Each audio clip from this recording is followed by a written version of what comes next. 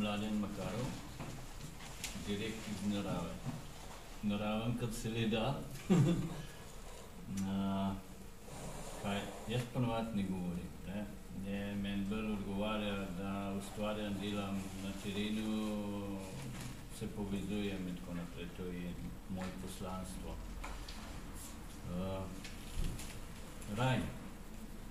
Ja, kako ga narediti, kako biti ven iz tega sistema, ne, ki nas je nekako ukalupil. V bistvu jaz nimam nobene položnice. Sem zdrav, 63 let star, se imam rad, to je ena od osnovnih stvari. Živim v resnici in poti prihajajo nasproti take stvari, da prepoznaš laž, tako naprej. To je že Gidi nekaj govoril. V glavnem, on je toliko povedal, da uh, bom jaz kar probal povedati samo tisto, kar je bistvo, kako narediti drugačen svet, uh, kje začeti, ker dejstvo je, da vladajoča elita ne želi, v bistvu podpira to, kar je Gidin zdaj govoril in nam daje samo neke drobtinice, v bistvu pa ne naredi tistega koraka, ne podpre narave, ne podpre življenja. Se pravi, na nas je, da se, vsaj jaz tako vidim zadevo, lokalno povežemo v vaseh, da se tam poiščemo ljudje, da obdelamo zemljo, da čim manj nabavljamo po trgovinah. To se pravi, da temu sistemu dobesedno ne dajemo denarja. Denar je pa tista sila, ki pravi, moramo ven stopiti iz tega sistema. Pa se bo pa ta svet porušil in uh, bomo lahko živeli v raju. Kaj je permakultura? V bistvu moramo samo ponašati naravo. Gost je samo skrben, se prikriva, prikriva tla, mi moramo to ponašati. Kako, če opazuješ gost, kako se obnavlja, to preneseš nekako na neko zemljo, ki, ki je dovolj. Veliko ljudi je osveščenih, prijateljev, kmetov, uh, tako da te zemlje je vse več, več ljudi, več je te zemlje, katera bo na ta način obdelana. Uh, prekriva se zemljo lahko na več načinov, da, da izkoplješ zemljo, narediš, jaz nimam nič slik, nisem se v bistvu tako pripravil, ampak uh, položiš v zemljo uh, različno hlodovino, uh, slamo, listje, prikriješ z zemljo, v to sadiš in z tega nastane humus. Seveda moraš potem to zasaditi z sadnimi drevesi, tudi z drevesi, jagodičevjem, zelenjavo, vse to ne bi bile več ali manj trajnice, ker človek v bistvu ni prišel na ta planet, da bi delal sploh. To je to mogoče malo čuden pojem za nekatere. To je v bistvu takole Gregan, ne se ne naredi. To je govor zdaj o tem. Brščak, ti sliš, ne, kar jaz govorim, koke. Tako nekako, tlele, tlele sem izkopal zemljo, položil noter uh, več ali manj vreže, ki je nekako predelan, uh, pokril z listjem slamo.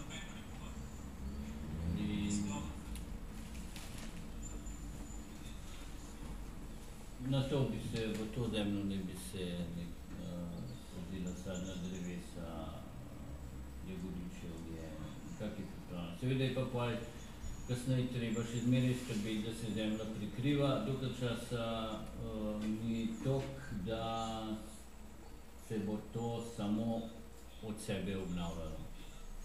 Ne, to se pravi, dve, tri leta je malo več dela, odvisno koliko je pač uh, velik kot zemlje, potem je pa to samo še nabiranje tistega, kar pač zraste in samo še pomalem uh, usmerjamo rastline proti svetlobi ali kakorkoli. Ker drugač uh, rastlina ima samo sebi informacijo, uh, kam mora pognati kakšno vejo, karkoli. Vse vemo, rastline so med sabo povezane.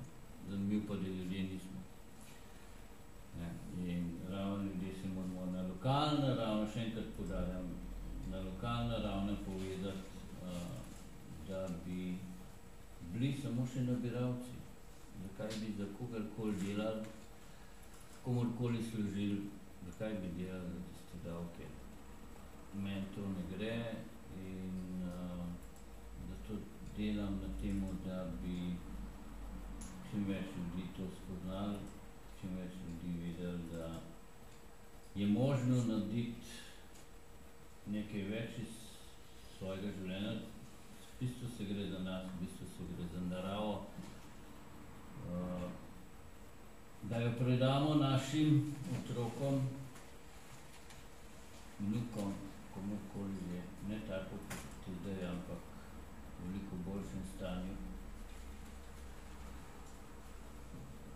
Vsi vemo, da vsaj jaz, deset leta, ko sem jih preživel, to ni bilo to, to je bilo življenje stran vrženo. Edino življenje v naravi to uresničuje. Ko bomo živeli odvisen od nas, a bomo pustili tako ali pa se naredimo raj. Povežimo se lokalno, naredimo, da bomo samo nabiralci.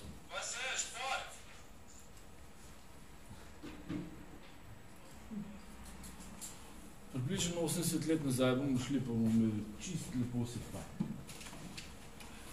Bo spet smeh, pa veselje, pa petje prišlo med nas.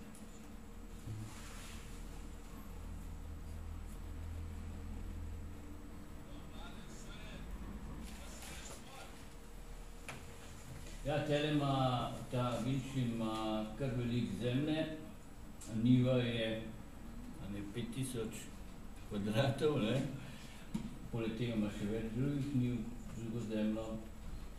In pri njemu se zdaj nekako, uh, sem se našel, uh, vsi mu malo pomagamo zdaj, uh, povezujemo se tudi lokalno dosti takih ljudi, ki imajo tudi zemljo in moj interes je dol zdajle, ne vem za koliko časa, ampak prepustil sem se uh, temu načrtu dol, da nekaj naredimo. Vidim nekaj eno, en smisel temu, no.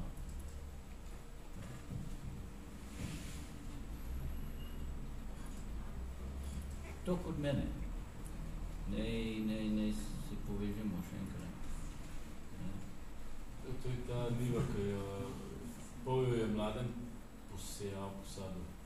In pač delam tudi umetniške slike. Kje pa je to? Ja, srčke, Spodnji take- kotič, Geos, uh, Ja. Tomaž Drnovšek, Vinči, uh, Vinči je njegov umetniški ime, ker je slikar, umetnik, Akademski. akademski, ne če zaključil, ampak ima stil Van Gogha in ima vzdel k Vinči. Ima pa muzej premoderne umetnosti, ki ga je naredil v Štadu. Uh, jaz sem se tlele poigral, sem ampak se, lahko se igrate, čebuljčka sem kole posijal, posadil. Dobre sosede skupaj dajemo, pač delamo tudi vizualno lep vrt, da ni samo v ravne vrste. Uh, tako da vrtnarjenje je ena velika umetnost, velika slika. Uh, tle smo šli delati tudi čistilno napravo. Rešujemo stara drevesa, 100 let stara, ko so ujeta v bršlan. 150 let star orh mi še čaka na takle bršlan krok. Uh, jemo divjo hrano, če imaš koprive, uh, regrat, konoplo. Česnovko, Smo čist repa. Znam, malo snemamo, se hecamo. Evo, poročni šopek. Polje, če maža. Ga je pol meni predal, seveda, ne.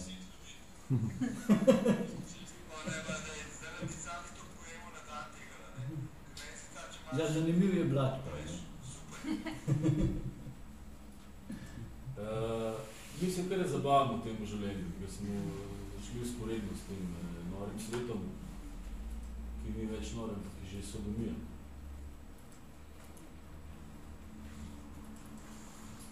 Uh, damo še kakšno smešno zadevo. Da se te malo nasmejali, dobre vile, recimo, evo, Ampak toliko. meni pa zdaj prav prdišel, če imaš. Resnično. Kaj? Pr, prdišel mi, če imaš. Imaš kakšno domišljijo, a ne? Ti pa malo ja. Prav tlele, tako da sem gledala, kdo ima šopot, če imaš. Uh, evo, vam dam še eh, malo Ja, ja, ja, smeha. A strignil. Vmes mi tudi posnamemo kaj za ljudi, zato da bojo vedeli, da smo resnični. Zdaj se malo bolj slab sliši. Dobre vile, naslov.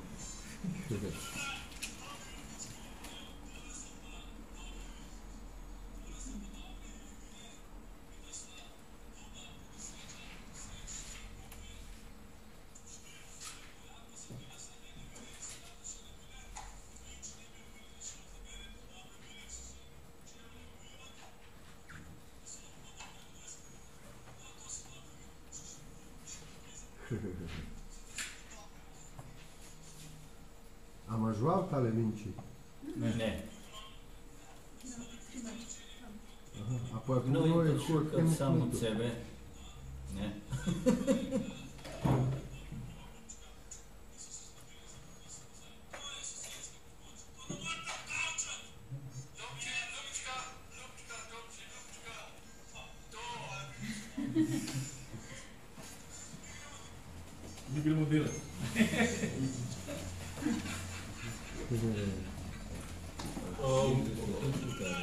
Ne, tisto ne bom. Uh, vam pa lahko pokažem še, da v, imamo zelo veliko uh, precej izobraženih ljudi se pri, pri Vinčiju zbere. Uh, med drugim tudi umetniki, glasbeniki, uh, imam tlele še en avtorski, avtorsko pesem, pesem vam da uh, sam ne najdem. Kuhna, ja. Uh,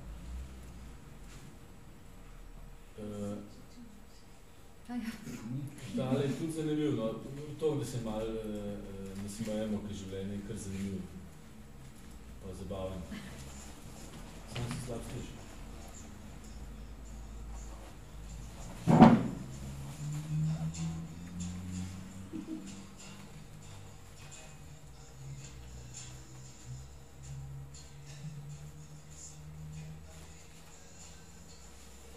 Malo poheca človek.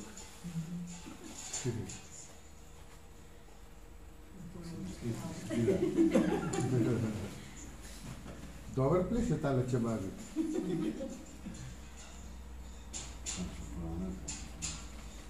No, jaz tako, tako slabko pa res nisem videl. No, on je pa uh, Palka, se piše komu ime. Anže. Že Palka, on je magister na kitari in je uh, brezposeln, tako kot je značilnost v Sloveniji za negativno selekcijo. Tle je pa njegov, on je v glasbi v gazele, še pa veliko drugih uh, pesmi tudi. In to dela z dušo in je virtuos. No to je Drnovšek, Drnovšek Tomaš Večji. A pa še kaj slika? Zdaj bomo najprej kmetijo zrihtali, pa bomo pa od junija ima pa razstavlja en iz Dunjaja, pa ne mož tali, bomo pomagali to urediti. Škoda, da se ni zvočnikov.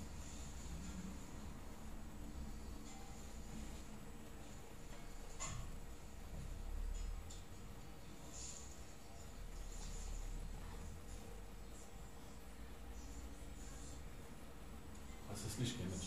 Slabo, ja. Ja, nimamo. Uh, Ti klemparija si bilo tako Ja, in tudi uh, Anže, a ne, uh, vsako polno luno, točno tisto uro, ko je polna luna, v tisti štali, ki je v muzej z tega, uh, pripravlja koncerte. In je tak umetniški uh, performance, uh, pride še ena Karin, uh, kakšno pesem prebere, tako da je fajn. Vsako polno luno se v kotiču ste vabljeni, je odprto za vse. koncert je v polni luni za polno luno, kadarkoli že to je. Zdaj smo imeli zjutraj 8 nič 8. Ja, in je fajn, no, ambient je lušten, uh, ne, glede na to, da je da je bil včasih prohljiv, uh, se je fajn za to. Evo, kakšen če imaš raste dol v kotiču. Če ne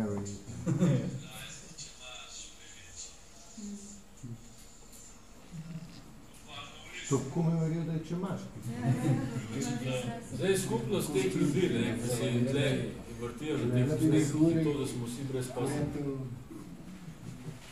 Tole je noro, to je res noro.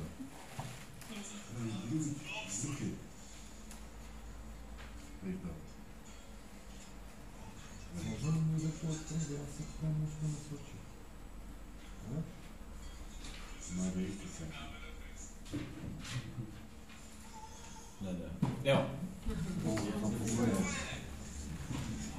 Ne, se oglasi. A pokažeš še enkrat un fole, če mažak nabiral ta ljubezenski šopek?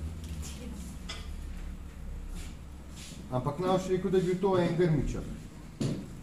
To je vsi zeleni, ne, Ne, 300 ampak to se je ne trikrat že odrezal, pa poj to je bil en šopek. En sam šopek. Jaz sem se sprepognil, pa sem šopek dvignil, pa je bila polna roka. Nisem nikoli še kaj takega. Ti še dol, zdaj bi ste lahko opili. Sam zdaj pa cveti že, a ne? Sigurno. ja, zdaj je še dobro. Zdaj je še dobro. To je nekaj. Glede. Sigurno. Sto tisto. Dobro. In kar začiva, da nam povedal.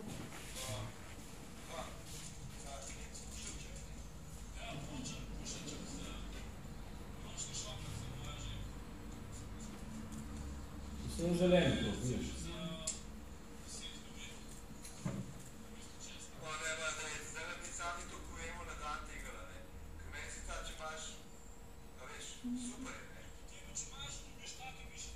Pa, Jaz sem malo hecam.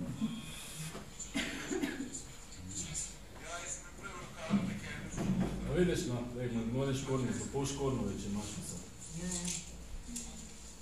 Nikoli kaj V takega. glavnem vse v naravi, dol so borovnice, dva litra na uro jih lahko naberete. Borovničev je zdaj le, to. jaz še to nisem videl. Litija. Se.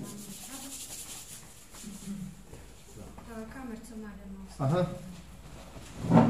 Bomo Uh, Egidi, samo vprašal bi, če smem. Egidi prej prosil, da bi posnel, ampak kdo proti, če bi bil uh, na posnetku? Se ni noben